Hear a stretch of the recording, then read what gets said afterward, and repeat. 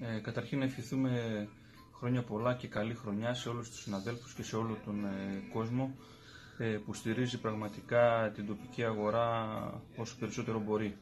Ε, να πούμε ότι ξεκινάνε επίσημα οι χειμερινές εκτόσεις ε, στις 14 του μήνα, τη δεύτερη Δευτέρα του Ιανουαρίου και θα διαρκέσουν έως 28 Φεβρουαρίου, τέλος Φεβρουαρίου.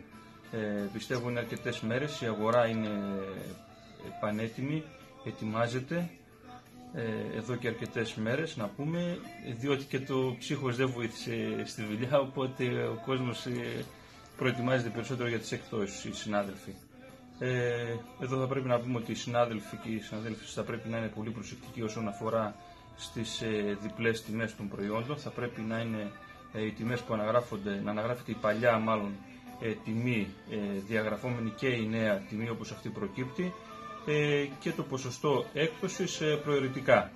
Από εκεί και πέρα ο κόσμος θα πρέπει να είναι προσεκτικός, θα πρέπει να κάνει την έρευνα αγοράς του, να κάνει τη βόλτα του στα μαγαζιά και από εκεί και πέρα να πάρει να αγοράσει αυτά που επιθυμεί και έχει ανάγκη.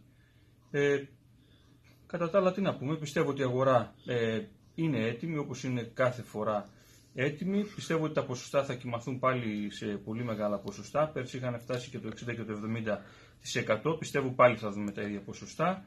Ε, γιατί πραγματικά μιλάμε για ρευστοποίηση, δεν μιλάμε για κέρδη, αλλά για ρευστοποίηση εμπορευμάτων, ούτως ώστε οι συνάδελφοι και οι συναδέλφοι να μπορέσουν να ανταπεξέλθουν στα τρέχοντα ε, έξοδα και στις ε, αγορές που θα πρέπει να κάνουν για το, επόμενο, για το αμέσως επόμενο διάστημα.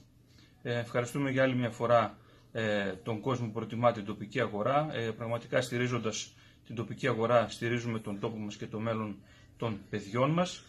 Ε, αυτό πιστεύουμε και πιστεύουμε ότι ο κόσμος πλέον το έχει κάνει συνείδηση. Τον ευχαριστούμε για άλλη μια φορά.